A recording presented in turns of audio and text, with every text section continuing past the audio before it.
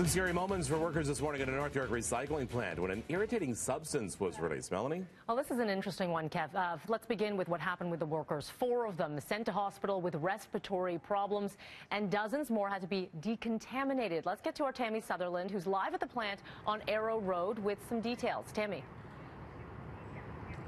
Yeah, Melanie, they still don't know exactly what the substance was itself, but as you mentioned, four people sent to hospital with respiratory issues, and about 60 people had to be decontaminated as a precaution. It was just before midnight when workers who were sorting recycling um, on a line all of a sudden started to react to this irritating substance. We spoke to one of those employees who described what happened suddenly we just uh, cough and then you know sneeze and then by the time we go down already uh, to, we just only take a little you know just few minutes. But then uh, after that there's some ambulance there's some paramedic already and then they said we cannot go back there anymore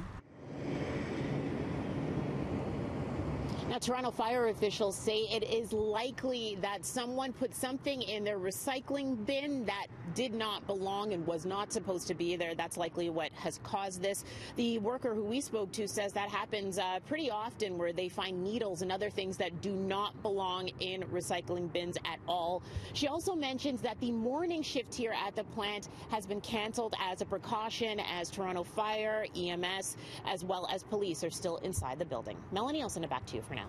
All right, Tammie, thank you for that.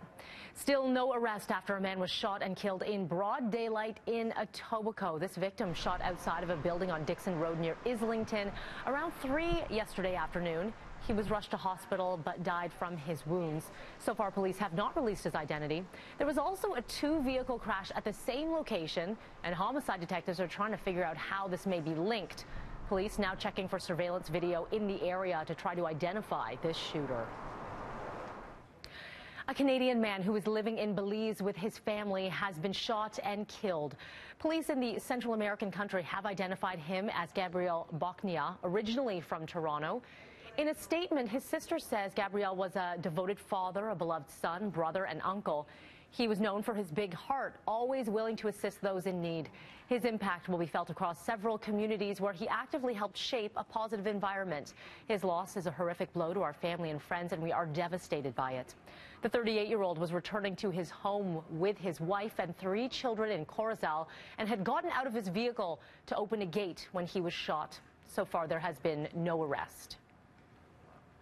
The Markham creators behind what's being criticized as a racist video game have now decided to pull the plug and not release their app.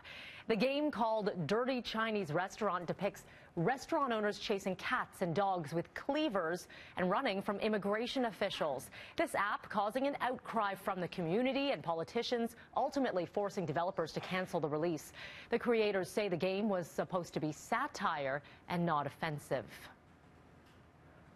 Oscar winning Hollywood producer Harvey Weinstein in the spotlight this morning as nearly three decades of sexual harassment claims have been made public. Weinstein has worked on films like Pulp Fiction and Good Will Hunting. He is CEO of the Weinstein Company, said in a statement that he will be taking a leave of absence to, quote, deal with these issues head on. Stars like Rose McGowan and Ashley Judd among several people accusing Weinstein of sexual harassment. Harvey! Panthers quarterback Cam Newton now apologizing after making sexist comments to an NFL reporter. He took to Twitter yesterday to tell fans that he made a very poor choice of words.